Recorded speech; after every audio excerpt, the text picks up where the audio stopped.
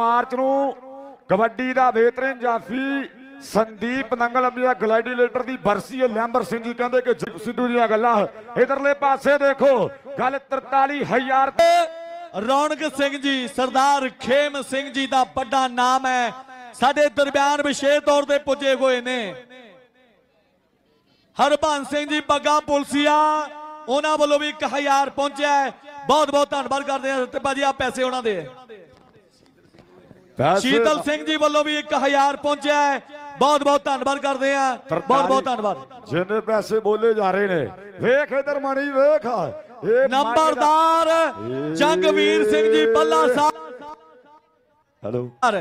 ਉਹਨਾਂ ਵੱਲੋਂ ਜੰਗਵੀਰ ਸਿੰਘ ਜੀ ਨੰਬਰਦਾਰ ਜੀਆਂ ਵੱਲੋਂ 2000 ਪਹੁੰਚਿਆ ਕੁਸ਼ਤੀ ਦੇ ਵਾਸਤੇ ਪੈਸੇ।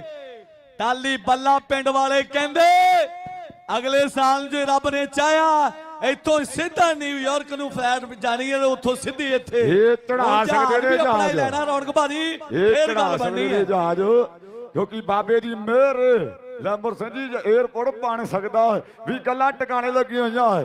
ਇਹ ਬਾਬਾ ਮੱਖਣ ਸਾਹ ਦੇ ਵਾਰਸ ਵੀ ਜਿਨ੍ਹਾਂ ਨੇ ਅੱਜ ਅਮਰੀਕਾ ਕੈਨੇਡਾ ਤੇ ਇੰਗਲੈਂਡ ਦੀ ਧਰਤੀ ਤੇ ਵੱਡੇ ਮਾਣ ਬਖਸ਼ੇ ਹੋਏ ਨੇ ਪਰ ਇਧਰਲੇ ਪਾਸੇ ਦੇਖੀ ਹੁਣ ਗੱਲਾਂ ਟਿਕਾਣੇ ਲੱਗੀਆਂ ਹੋਈਆਂ ਬੱਬੂ ਭਾਜੀ ਇੱਕ ਟੋਕਨ ਹੋਰ ਕੱਢ ਲਓ।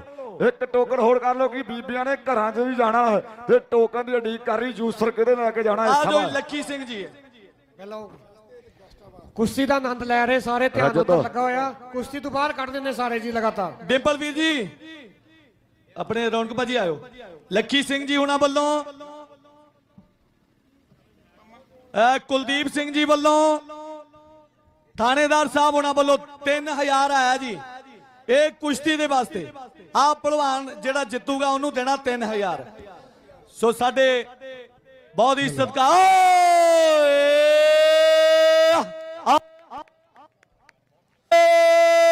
ਸੋ ਨਿਹਾਲ